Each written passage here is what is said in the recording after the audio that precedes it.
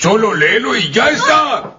¿Qué onda gente? ¿Cómo andan? Antes de arrancar quiero decir que este video va a ser hablando solo de la historia del juego, no del juego en sí porque no tengo los recursos para jugarlo. Quiero agradecer este canal porque de acá es donde voy a estar sacando los gameplays que van a estar viendo. Creo que el arranque no podría ser mejor, ya que vemos a May caminando por el barrio mientras conversa y ayuda a la gente. Esto recuerda bastante a aquella secuencia de Into Spider-Verse y nos da a entender que el chico ama su barrio. Después empieza a tener de forma sutil la crisis que lo caracteriza. ¿Qué haría Peter Parker? ¿Cómo hace para balancear su vida con ser Spider-Man? ¿Cómo hace que se vea tan simple tomar café de cabeza? Miles lo admira y quiere ser como él, por eso cuando está transportando a Rino, quiere hacerlo sentir orgulloso demostrando que puede controlar la situación, lo cual termina en destrozo, destrozo, destrozo. Y de no ser porque descubrió su golpe venenoso a tiempo, las cosas hubiesen terminado mucho peor. Después de eso conocemos al villano del juego, Simon Krieger. Es más que evidente que va a ser el villano y eso no importa para nada. ¿Por qué? Por más de que sea un villano simple, genérico y sin trasfondo, es justo lo que la historia necesita, porque es una excusa para que la trama avance y vaya directamente hacia un punto, mientras lo verdaderamente importante se desarrolla, y con eso me refiero a la vida de Miles. ¿Recuerdan que anteriormente les dije que Miles idolatraba a Peter y quería ser como él? Bueno, su oportunidad llegó. Peter se va de viaje por unas semanas, el chico no está preparado para manejar todo solo y no se siente suficiente, pero igual va a hacerlo porque su héroe se lo está pidiendo. Recibe de regalo este traje que es una referencia a los cómics, y me parece medio raro que Peter le regale un traje barato, pero después le da todo un equipo de entrenamiento de alta tecnología. ¿Cómo pudo pagar todo eso, pero en el juego pasado no llegaba a pagar el alquiler? Bueno, Conveniencias de la trama. También quiero señalar a Danica Hart. En el cómic se presentó diciendo Oh por Dios, Spider-Man es negro, los superhéroes son inclusivos. Por suerte, acá no la hicieron tan así. Sigue siendo alta chupamedia de Spider-Man, pero al menos no recalca la inclusión. También me gusta que tenga su historia propia. A través de su podcast vamos conociendo más de ella y cómo es su vida. Y ya que hablamos de las historias de fondo, me gustaría señalar a la chica sorda. Aparece muy poco, pero no deja de ser un personaje llamativo y carismático. Su química con Miles es excelente, y lo que hace al final me hizo amarla. Pero ya vamos a hablar de eso más adelante. Después de lo de Rino, cuando Miles vuelve a casa, la madre le dice que invitó a alguien a comer. Ese alguien resulta ser Finn Mason, la mejor amiga de Miles. Para un fan de Spider-Man este personaje puede resultar un golpe enorme ya que normalmente es Phineas Mason, un hombre adulto. Así que convertirlo en un adolescente de 17 años es medio innecesario. Pudieron haber creado personajes originales sin la necesidad de reciclar antiguos. Este reciclaje es el principal motivo por el que Miles tuvo tan mal recibimiento en su primera aparición en los cómics, pero a mí realmente me da igual siempre y cuando hagan algo bueno, y en este caso lo lograron. Esta chica es carismática y su amistad con Miles se siente auténtica. Además, el pasado que tienen juntos y cómo se va desarrollando ella la vuelven una buena e interesante adición. Después hay un momento estúpido cuando Miles va a ayudar a su tío como Spider-Man y él le dice que sabe su verdadera identidad. ¿Cómo lo supo? Cuando te vi con esos fugados, esos amagos a los lados, me recordaron cuando jugábamos al baloncesto con tu padre. Eras rápido. Y ahora aún más más forzado imposible, en serio, esa es la cosa más estúpida que escuché. Si lo iban a hacer tan básico, podría haber dicho otra cosa como reconocí tu voz. Al menos es más entendible que haberlo reconocido por sus movimientos. Después de eso tenemos un momento que busca ser nostálgico, pero como a Finn la conocimos por poco tiempo y a su hermano no lo conocemos de nada, el momento no te llega. Anteriormente les había dicho que el villano era simple y bla bla bla bla bla, pero no les conté que es la cabeza de Roxxon una empresa malvada. Cuestión que el hermano de Finn trabajaba con Roxxon y un día hizo un coso inestable llamado New Form que los podía matar a todos. Pero el malo no le dio bola y lo quiso usar igual. Así que Finn y su hermano trataron de pararlo, lo que terminó en la muerte de él. Por eso mismo ella se termina convirtiendo en Tinkerer, una antiheroína que busca acabar con la compañía. Esta historia deja en claro que el hermano era solo un elemento narrativo. Él es su razón para luchar y no me malentiendan, es una razón bastante buena para crear un paralelismo entre Miles y Finn. Si él hubiese buscado venganza, entonces sería igual que ella, alguien a quien no le importa matar a los que se interponen en su camino. Ahora, ella está bien lograda, pero su hermano, para nada. Se nota que solo sirve para morirse. No es un personaje interesante, tiene su carisma, pero no importa ya que sabemos en todo momento que está muerto. Su utilidad termina siendo la misma que la del villano, hacer avanzar la trama. Pero hay un personaje que a pesar de estar muerto sigue teniendo su presencia e importancia, el padre de Miles. Cómo su muerte dejó al chico traumado. Su madre está postulándose para... no sé, intendente. El punto es que ella está en un escenario dando una conferencia. Esto agita a Miles ya que le recuerda el día en el que perdió a su padre, a pesar de que no está pasando nada, no soporta ver a su madre ahí, tiene miedo de que en cualquier momento algo pueda pasar. De la nada empieza una batalla entre Roxxon y el equipo de Tinkerer, los Underground.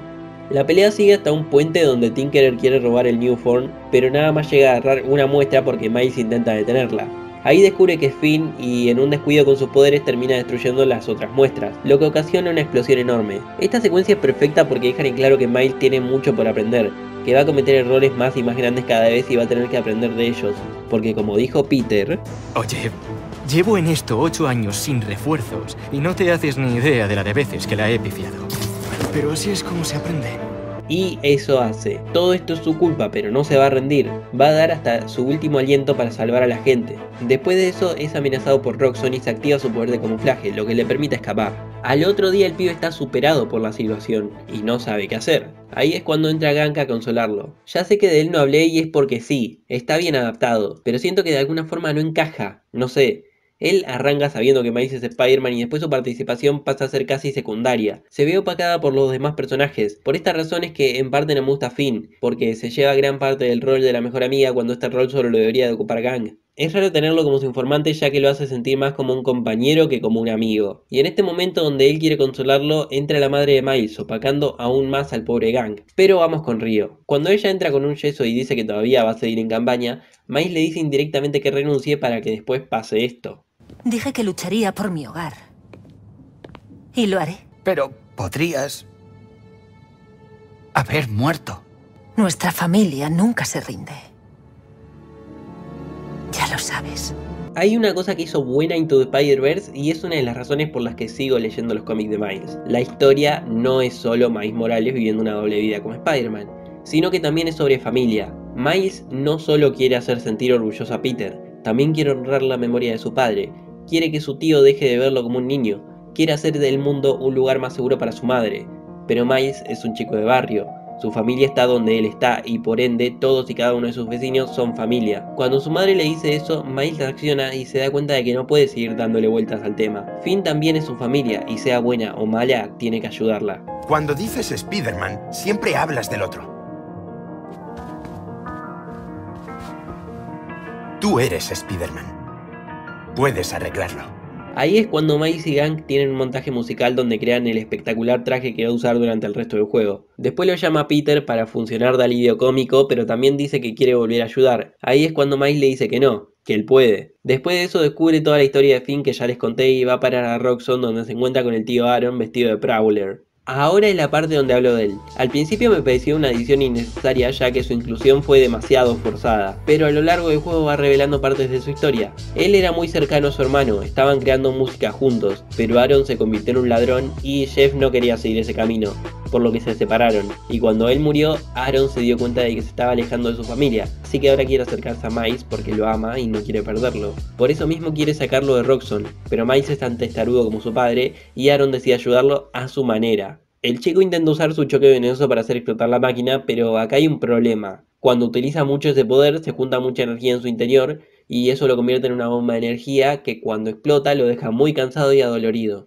Ah, estoy como si me hubiera caído de un avión. Miles utiliza su amistad con Finn para convencerla de que lo deje entrar en los Underground. Después de que averigua las locaciones de sus bases, va a buscar el New Form como Spider-Man, pero ella lo encuentra y empiezan a pelear. A él no le queda de otra o se revela o lo matan. Así que le dice quién es. Después le dice al tío Aaron que va a juntarse con ella en una iglesia donde va a convencerla de que pare, pero está empeñada en terminar lo que su hermano empezó. En un momento tienen una conversación de cuando fueron a un concierto en esa misma iglesia. La verdad creo que estas conversaciones son muchísimo más naturales y crean más cercanía entre ellos que esos flashbacks innecesarios. Son atacados y secuestrados por Rino que los lleva a Roxxon donde torturan a Miles. Esto despierta su explosión de veneno y terminan escapando. Mientras se escabullen por el lugar aparece Aaron con el malo y mientras conversan nos enteramos de que el hombre había vendido a la chica para que dejaran en paz a Miles. Esto hace que Finn se enoje porque piensa que Miles fue quien la vendió. Un ratito después Miles descubre que si ella destruye el New Form también va a terminar destruyendo toda la ciudad,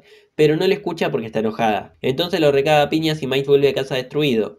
Ahí es cuando Río descubre que su hijo es Spider-Man. Siento que a esta escena le faltó dramatismo. Pasa todo exageradamente rápido y ella lo acepta como si nada. Pero hay un momento donde le dice lo que significa ser un héroe y la cámara se mueve para dejar ver una foto de su padre, dando a entender que la opinión de la madre es la misma que tendría su padre.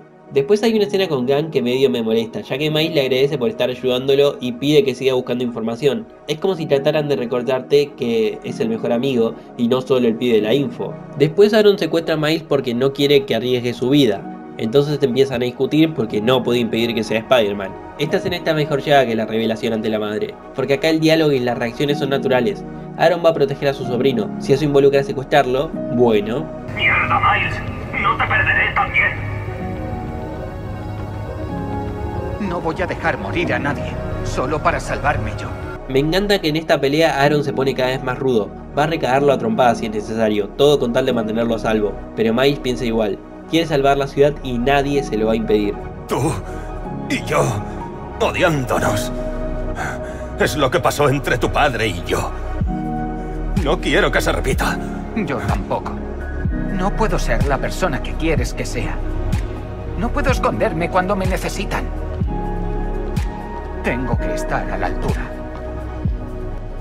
Spider-Man va a asegurarse de que Hank, su madre y el resto de los vecinos estén bien. Ahí es cuando aparece que inspirado por las palabras de Miles, va a quedarse para protegerlos. Después el chico va a parar a Finn, intenta explicarle que va a destruir la ciudad, pero ella no escucha e intenta matarlo para que no se meta. Ahí las cosas empiezan a salir mal y reacciona pero termina cayéndose del edificio. Entonces, en una escena claramente inspirada en la muerte de Gwen Stacy, la salva y caen al piso. Los dos quedan en mal estado, pero Miles se levanta y utilizando su descarga de energía destruye la máquina. Recordemos que mientras más use, más posible es una explosión. Los vecinos se están acercando, Miles aguanta lo que puede, entonces a Finn se le ocurre utilizar sus botas para salir volando con él y que explote en el cielo. Esta escena me pareció ridícula más no poder. Busca ser emotiva, pero no. Ella pudo haberlo tirado al aire y alejarse para dejarlo explotar. Tenerlo en brazos mientras explota me parece medio estúpido porque ella ya vio que no lo mata, solo lo desmaya. Entonces llevarlo tan alto va a hacer que caiga y se haga mierda contra el piso. Está bien, eso no pasó hace unos minutos cuando la salvó, pero de igual forma no hay necesidad de sacrificarse, es simplemente estúpido. Pero nada es tan estúpido como Miles cayendo de semejante altura y sobreviviendo como si nada. El pibe se pone a llorar por haber perdido a su amiga, está sin la máscara,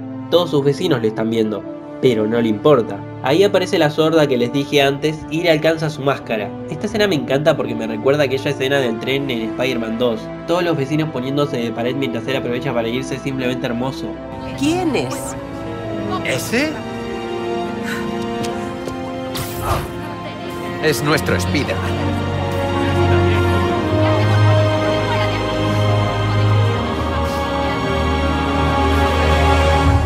Después el tío Aaron le da a la policía información del malo y se lo llevan presos a los dos. Tenemos una secuencia genial de Miles caminando tranquilamente por el barrio mientras habla con la gente, cerrando el juego como empezó. Y terminamos con ambos Spider-Man conversando. Roxxon hizo esto aquí porque para ellos sobramos. Creo que nuestro trabajo es garantizar que no actúen impunemente. Lo añadiremos al juramento de Spider-Man.